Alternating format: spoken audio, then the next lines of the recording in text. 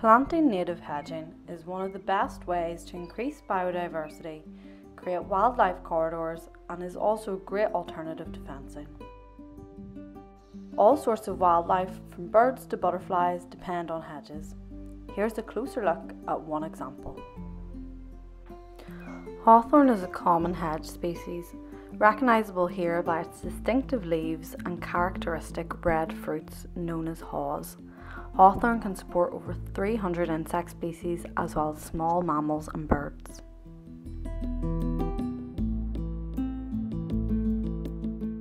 Hazel can be easily recognised by its soft, downy leaves.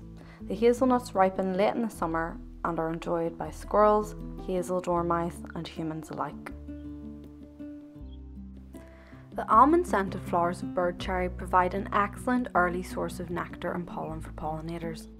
The cherries are also eaten by birds and small mammals. The leaves of the crabapple are food for caterpillars of many moths, including green pug, Chinese character, and pale tussock. The apples can be made into a great jam and are also enjoyed by mice, voles, foxes, and badgers.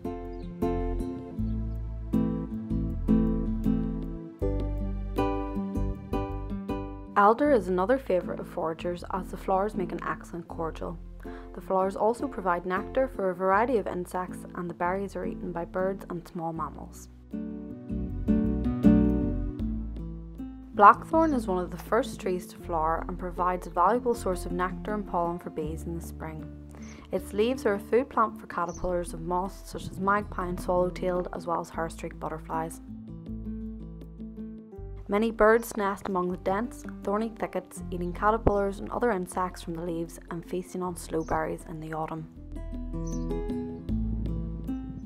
It's important to include native shrubs such as this dog rose in your hedge. The spring flowers are an important nectar source for insects and its fruits, known as hips, are a food source for birds such as blackbirds, redwings and waxwings. Brambles are a familiar sight in hedges. Look out for their juicy blackberries in late summer.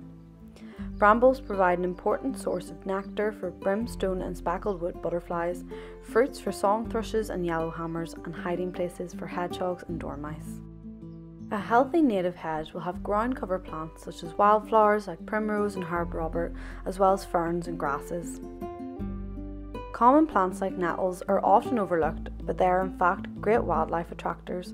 Caterpillars of small tortoiseshell and peacock butterflies use them as food plants, ladybirds feast on the aphids that shelter among them, and seed eating birds enjoy their autumn spoils. Good management of your hedge should include leaving strips of longer grass at the base, as well as trimming and laying the hedge when necessary. Larger trees can also be incorporated as part of a healthy native hedge.